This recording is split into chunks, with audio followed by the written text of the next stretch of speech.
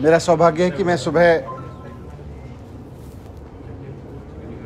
भगवान सोमनाथ जी के दर्शन के लिए जा सका और मैं समझता हूँ ये सब बहुत सौभाग्य की बात होती है कि भगवान सोमनाथ का दर्शन में मंदिर में कोई आ सके। मैं आज गया, वहाँ पे बड़ा दिव्य दर्शन हुआ, बड़ा अच्छा लगा।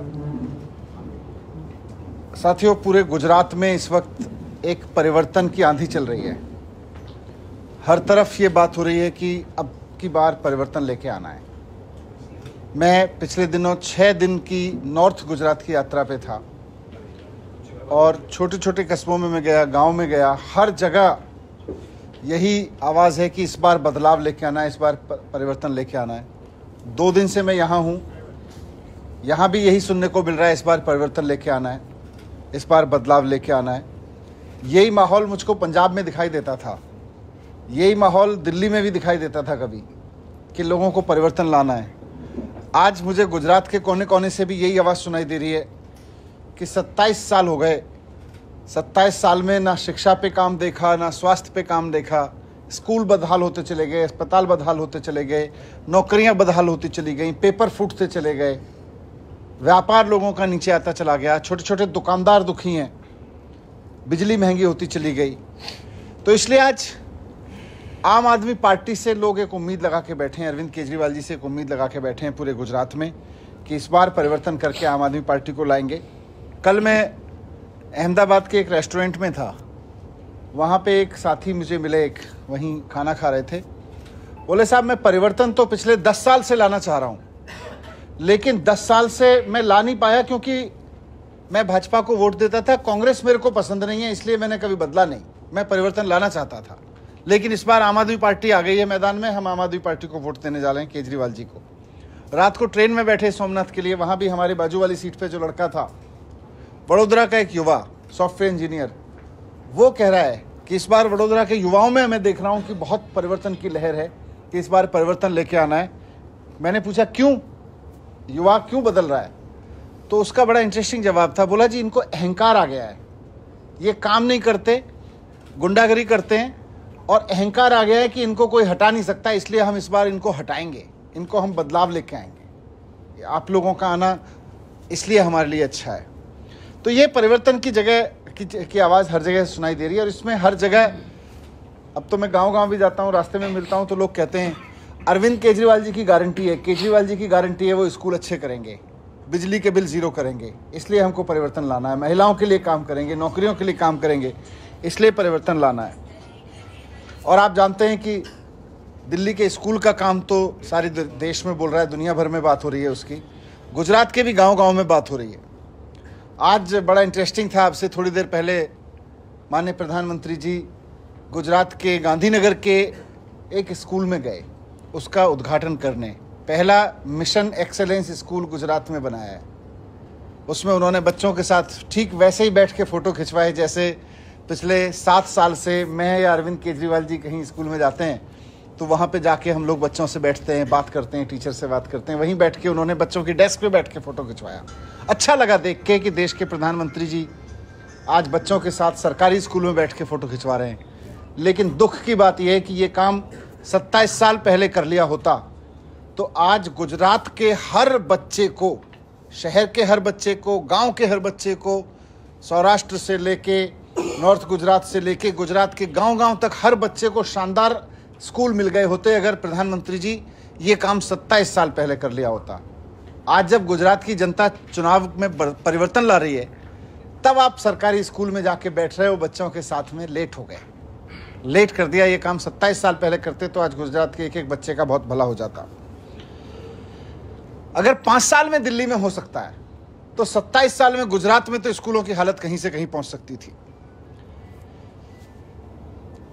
सत्ताईस साल में इन्होंने गुजरात के स्कूलों की हालत ख़राब कर दी। क्या है मैं बताता हूँ।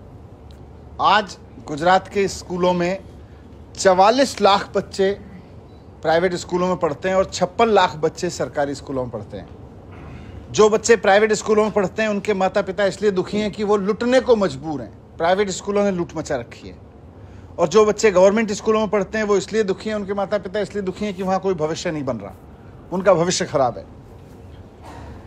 सरकार के अड़तालीस हज़ार स्कूल हैं गुजरात में, पूरे गुजरात में। आज प्रधानमंत्री जी एक मिशन एक्सेलेंस का उद्घाटन करके आए हैं ना। मुझे लग रहा है जब 27 साल बाद भाजपा के शासन में पहला अच्छा स्कूल का उद्घाटन कर रहे हैं प्रधानमंत्री जी तो इस बात का भी ज़िक्र होना चाहिए कि अड़तालीस हज़ार सरकारी स्कूलों में से हमने एक एक स्कूल की मैपिंग की है। पूरे गुजरात के एक एक स्कूल की मैपिंग की है, आम आदमी पार्टी की टीम ने। कहा, किस गाँव में, किस स्कूल की क्या हालत है, कितने कमरे हैं, कितने टूटे पड़े हैं, किसका छप्पर टूटा पड़ा है, किसका छत चपटक टपक रही है, कहाँ टीचर है। अड़तालीस हज़ार स्कूलों में से बत्तीस हज़ार स्कूलों की हालत खराब है। और इन बत्तीस हज़ार में से अठारह हज़ार स्कूल तो ऐसे हैं गुजरात सरकार के, जिनमें कमरे नहीं हैं, टूटे पड़े हैं या है ही नहीं बैठने के लिए कमरे। टीचर्स नहीं हैं। और जहाँ हैं भी टीचर्स उनका क्या हो रहा है? आज ही मुझे यहाँ पे अब से थोड़ी देर पहले एक टीचर आए अभी मुझसे मिलने। वो मुझे एक चिट्ठी दे के गए आज गुजरात सरकार की। आज प्रधानमंत्री जी एक तरफ़ तो जाके किसी टीचर के बाजू में बैठ के फ़ोटो खिंचा रहे हैं कि हम अच्छी पढ़ाई करवाएँगे, और दूसरी तरफ़ प्रधानमंत्री जी के जूनागढ़ के कार्यक्रम के लिए गुजरात के सरकारी स्कूल के टीचर्स को बसों में कंडक्टर बना बना के भीड़ ले जाने के लिए ड्यूटी दी गई है। गुजरात सरकार आदेश दे रही है कि प्रधानमंत्री जी के कार्यक्रम के लिए टीचर्स बस कंडक्टर का काम करेंगे। जब भीड़, भारतीय जनता पार्टी जब बसों में भीड़ भर भर के ले जा रही है प्रधानमंत्री जी की सभा के लिए तो वहाँ पे बसों का कंडक्टर सरकारी स्कूल के टीचर्स को लगाया गया है। और उन टीचर्स को लगाया गया है जो ये कह रहे हैं, उनकी पीड़ा थी टीचर्स की बच्चों के लिए। गुजरात के टीचर देखिए स्कूलों में कितने अच्छे हैं। मुझे कहने आए साहब, आज हमारे छुट्टियों के पहले स्कूल का लास्ट डे है, वर्किंग डे। आज का दिन हमने अपने बच्चों के लिए रखा होता है, सारे टीचर्स ने, कि अब बच्चे छुट्टी पे रहेंगे तो हम उनको होमवर्क देंगे, उनका रिज़ल्ट बनाएँगे रिज़ल्ट बताएँगे, कुछ पेरेंट टीचर मीटिंग करेंगे। आज का इतना इंपॉर्टेंट दिन हमको कंडक्टर बना के बिठा दिया गया, क्योंकि मोदी जी की रैली में भीड़ जानी है। बीजेपी बसें भर भर के ले जा रही है तो उसमें सरकारी स्कूल के टीचर कंडक्टर के रूप में काम करेंगे। ये तो हालत कर दी है इन्होंने स्कूलों की, और जाके एक स्कूल का उद्घाटन कर रहे हैं सत्ताईस साल बाद। तो मुझे बेहद गर्व है कि पाँच साल मिले दिल्ली में तो वहाँ करके दिखाया। मेरी गुजरात के एक एक वोटर से अपील है कि ये तरह तरह के हथकंडे चलाएँगे अभी। अगले चालीस दिन चुनाव, पचास दिन चुनाव में हैं। बहुत झूठ बोलेंगे, बहुत षड्यंत्र करेंगे यशुदान भाई के बारे में, जगमल भाई के बारे में, प्रवीण भाई के बारे में। खूब बोलेंगे। बोलेंगे, इनकी शर्ट का रंग ऐसा क्यों था? बोलेंगे, ये दो, दोनों एक जैसी शर्ट पहन के बैठे हुए थे, कुछ षड्यंत्र है। सब कुछ बोलेंगे। लेकिन मैं गुजरात के साथियों से कहना चाहता हूँ कि ये मौका है आपके बच्चों के लिए अच्छे स्कूल बनवाने का। ये मौका है अपने बच्चों के लिए अच्छे अस्पताल बनवाने का, बिना पेपर फूटे नौकरियाँ करवाने का। तो मैं अपील करना चाहता हूँ आपके माध्यम से कि इस बार पाँच साल के लिए मौका दें केजरीवाल जी को। पाँच साल के में अगर ये सब चीज़ें ना हो, जितना गारंटी दी है, केजरीवाल जी ने दोबारा मौका मांगने नहीं आएँगे। थैंक यू सर, आप एक एजुकेशन मिनिस्टर हैं। दिल्ली में अब तक सरकारी स्कूलों के लिए आपने अभी तक कितनी ग्रांट दी है? हमारे सरकारी स्कूलों में इतिहास है कि देश के इतिहास में केवल दिल्ली सरकार ऐसी सरकार है जो अपने बजट का 25 परसेंट स्कूलों पे खर्च करती है टोटल का। बाकी सब जगह 10 परसेंट, बारह परसेंट, भारत सरकार तो तीन परसेंट खर्च करती है, लेकिन हम 25 परसेंट खर्च करते हैं। सर, आज पीएम गुजरात में आए हैं और एक स्कूलों को प्रोजेक्ट के लिए दस हज़ार करोड़ रुपए का सभी ग्रांट दी है। क्या ये आपकी बदौलत है? मैं तो ये कह रहा हूँ कि ये गुजरात की आम जनता की बदौलत है। गुजरात की आम जनता ने जब उसके सामने विकल्प आया कि एक स्कूल बनाने वाली सरकार, एक स्कूल बनाने वाला नेता केजरीवाल आ गए तो अब मोदी जी कह रहे हैं, देखो, मैं भी स्कूल बनवा रहा हूँ। अरे, सत्ताईस साल पहले बनवा दिए होते। आज तो अमित शाह जी भी स्कूल जा रहे हैं। चार दिन पहले मैंने एक फ़ोटो देखा, अमित शाह जी भी स्कूल में जाके खड़े हुए थे। तो ये बदलाव गुजरात के वोटर के मानस की वजह से आया है। गुजरात के शिक्षा व्यवस्था को आप किस तरह से देख रहे हैं? मैंने बताया एक करोड़ लोगों का बच्चों का मतलब एक करोड़ परिवार जिनके बच्चे अभी स्कूलों में पढ़ रहे हैं उनका भविष्य इन्होंने दांव पे लगाया हुआ है।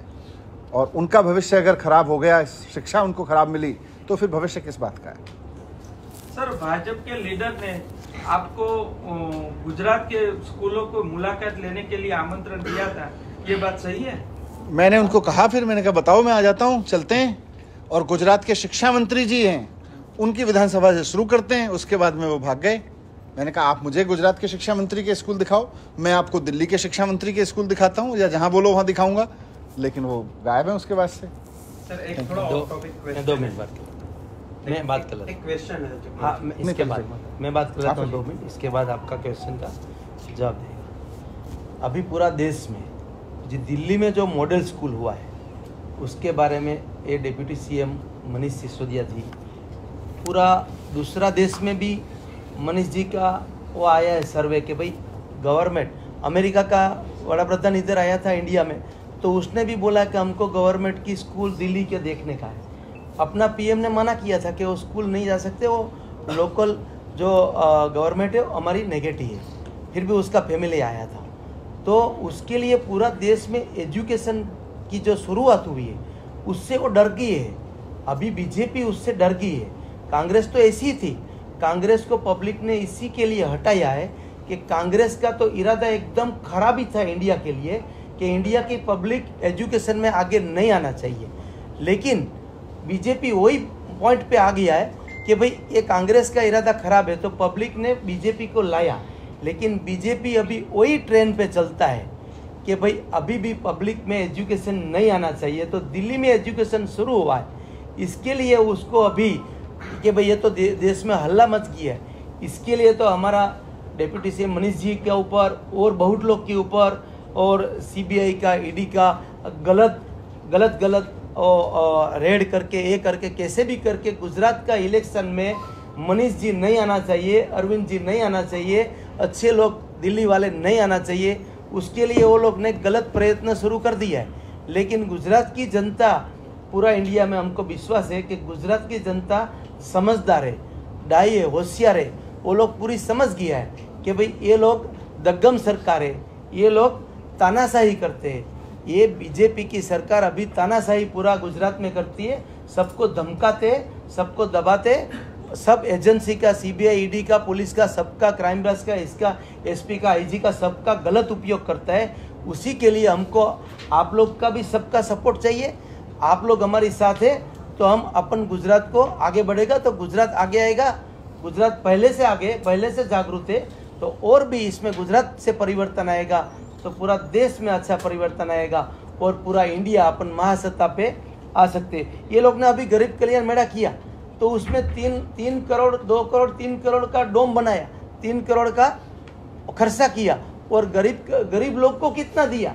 वो उससे कम वो लेने को कितना आया? दिया पंद्रह, बीस लोग को, और छः पूरा, एक साल में पूरा कागज़ एकटे यहाँ ही था प्रोग्राम, कितने लोग आए? वो लेने को भी नहीं आया, और जितना खर्च करते, उतना गरीबों को देते भी नहीं है। और एक ये गवर्नमेंट छोटे लोग का विचार नहीं करती है। जिसको छोटी दुकान, छोटी केबिन छोटा खेडूत है, छोटा फार्मर है, उसकी नहीं परवार करते ये लोग बड़ा बड़ा उद्घाटन करते हैं। आज अभी चार हज़ार करोड़ का, इकतालीस सौ चार हज़ार एक सौ करोड़ का उद्घाटन किया, खाद मुहूर्त किया, आज ही पीएम ने किया। और भी अभी जूनागढ़ में बहुत उद्घाटन करने वाले ऐसा उद्घाटन अपन बरसों से सुनते हैं। पंद्रह बीस साल से तो हम सुनते हैं कि इतना हज़ार करोड़ का, ये माछी मार को इतना हज़ार करोड़ दिया फार्मर को इतना हज़ार करोड़ दिया, लेकिन कोई छोटे लोग, मध्यम वर्ग अभी आगे आ सकता नहीं है, आगे आया नहीं है, उसको बड़ी मुश्किल है। इसके लिए आम आदमी पार्टी, ईमानदार पार्टी है, ये हमारा ईमानदार नेता है। तो हम पत्रकारों से भी रिक्वेस्ट करते हैं कि हमारा ये बात पब्लिक तक आगे पहुंचाओ, आप में ये ताकत है, और आप पत्रकारों को भी दबाते हैं। ये सरकार, दगम सरकार पत्रकारों को भी परेशान करते हैं, मीडिया वाले को भी परेशान करते हैं, हम भी, वो भी जानते हैं।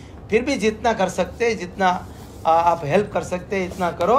हम लोग गुजरात को कुछ आगे बढ़ाना चाहते हैं इंडिया को आगे बढ़ाना चाहते। ये हमको हॉस्पिटल स्कूल ये सब बिजली फ्री देना चाहते। वो हम करते हैं इसीलिए वो अभी बीजेपी निकली है। बीजेपी को अभी तो ऐसा भी इच्छा है कि हम भी बिजली फ्री देगा लेकिन अभी पब्लिक उसको पूछेगा कि अभी अट्ठाईस साल क्यों नहीं दिया? अभी बिजली फ्री की बात करते हैं दूसरा स्टेट में बात करता है कि बिजली फ्री देगा। इसीलिए हमने अभी हमारे ये सोमनाथ का महत्व है इसीलिए यहाँ से सब बात की है। ये सोमनाथ ये सीट का नाम भी सोमनाथ है और पूरा इंडिया के लिए सोमनाथ सीट का महत्व है। तो यहाँ से सोमनाथ के कुछ यहाँ से अलग बात करेगा और पूरा इंडिया का पूरा देश का आगे बढ़ेगा। ऐसा जय Somnath. Thank you ji Aam Aadmi Party board statement और बोर्ड अपने विचारों के लिए जानी जाती है और आपने रेवोल्यूशनरी पॉलिसीज़ दिल्ली और पंजाब में इम्प्लीमेंट की गुजरात में एक जो पॉलिसी है, उसके ऊपर छह दशकों से विवाद चल रहा है, वो गुजरात की प्रोहिबिशन पॉलिसी है। एक तबका ऐसा है जो मानता है कि गुजरात में प्रोहिबिशन नहीं होना चाहिए, वही इंडिपेंडेंस का नॉर्मल रूल है। और एक तबका है जो प्रोहिबिशन पॉलिसी की वकालत करता है। आम आदमी पार्टी का उसके ऊपर स्टैंड क्या है? आम आदमी पार्टी का स्टैंड इस पे हमारे दिल्ली के मुख्यमंत्री और पार्टी के शीर्ष नेता और बाकी पार्टी के गुजरात के भी शीर्ष नेता बहुत स्पष्ट रख चुके हैं। कि गुजरात में प्रोहिबिशन का जो प्रयोग है, वो एक अच्छा प्रयोग है और आम आदमी पार्टी की सरकार बनेगी तो उसके बाद भी प्रोहिबिशन ना सिर्फ़ जारी रहेगा, बल्कि जो ये इन्हीं के अभी सत्ता में बैठे हुए लोगों के ही धंधेबाज लोग नकली दारू बेच रहे हैं और जिसकी वजह से गुजरात के कितने लोगों को जान गंवानी पड़ी है, इनकी कीमत पे बेच रहे हैं, उस, उनके धंधे को भी पूरी तरह से बंद कराया जाएगा। Thank you